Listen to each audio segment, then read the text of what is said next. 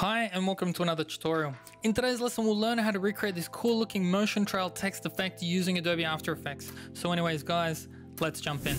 So the first thing that we have to do here is we have to create a new composition. 1920 by 1080 pixels would be fine at a duration of about 10 seconds. Just press OK.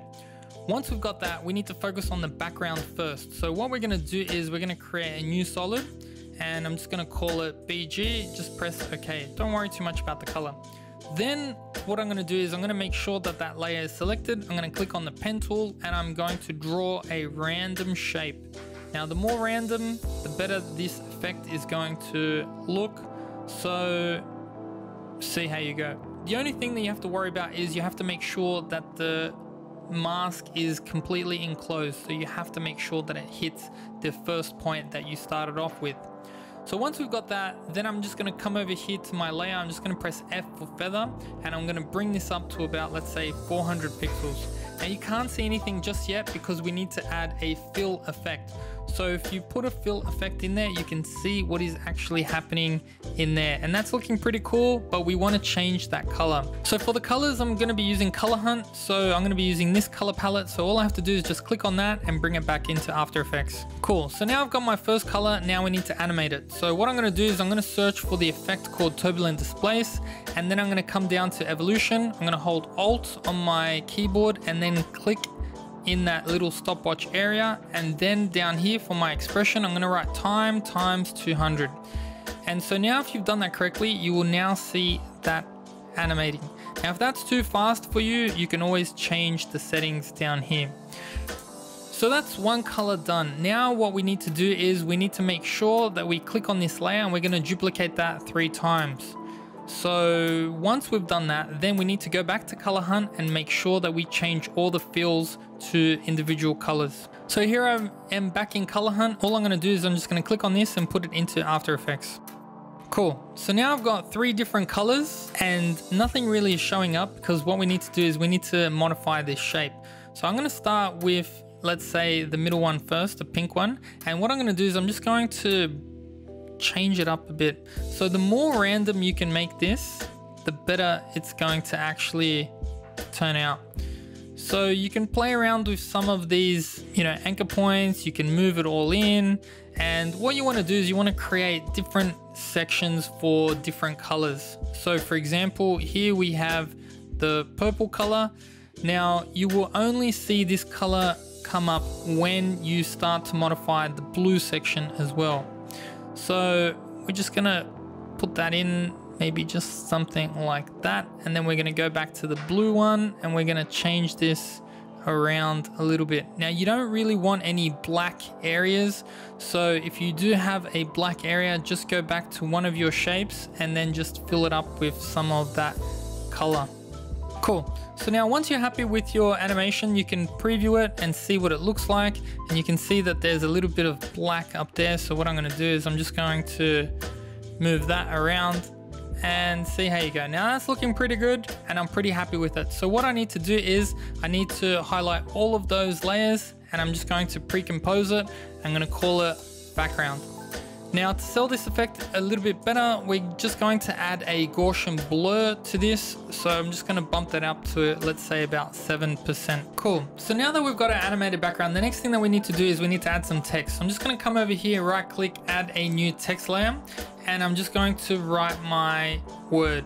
So the font that I'm using is Milestone and this is a running writing font so if you don't like how the text goes into each other then maybe choose a different font once you're happy with your font settings, I need to come over here and hold control and double click this pan behind anchor point tool to move that anchor point into the center. And then what I'm gonna do is I'm just gonna come to my align settings and I'm just going to make sure that it's aligned to the center of my composition. So once we've got that, then what we need to do is we need to right click and go to create shapes from text and this will create our outlines. And once we've got that then what we need to do is we need to animate that. So I'm gonna come over here, I'm gonna press P on my keyboard for position.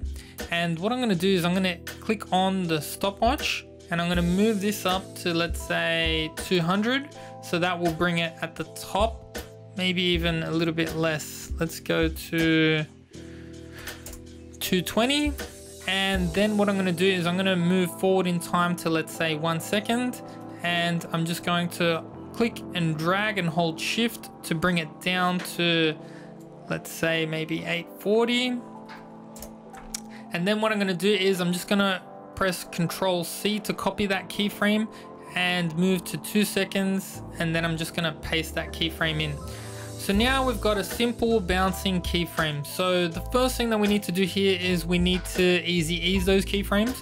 Then with all those keyframes selected, I'm gonna hold Alt. I'm gonna drag that out to about four seconds, maybe even five seconds.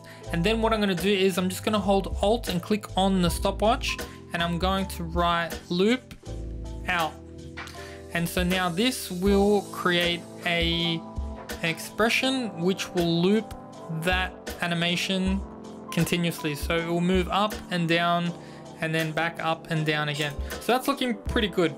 So the next thing that we need to do is we need to duplicate that another three times. So click on that layer, press Control D, one, two, three.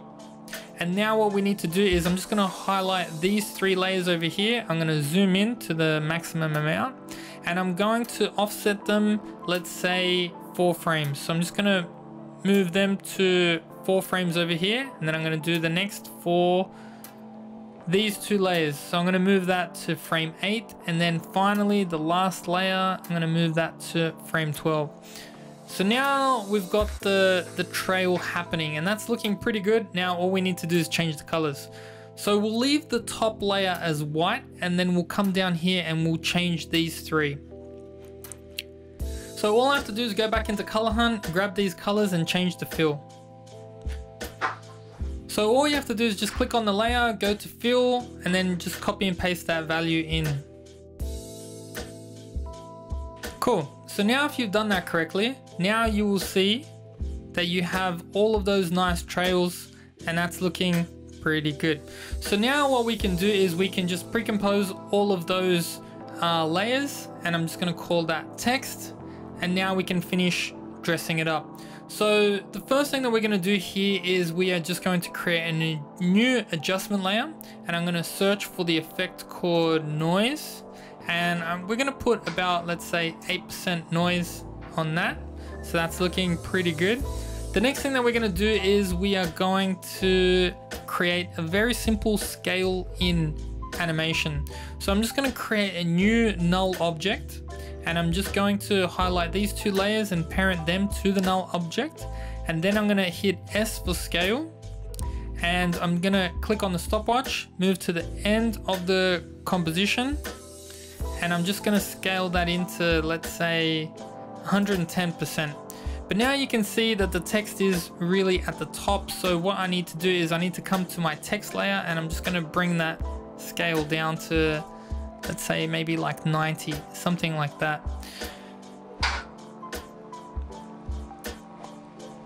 So cool. So that's about it. Now all you have to do is export that and there you have a simple motion trail text effect created in Adobe After Effects.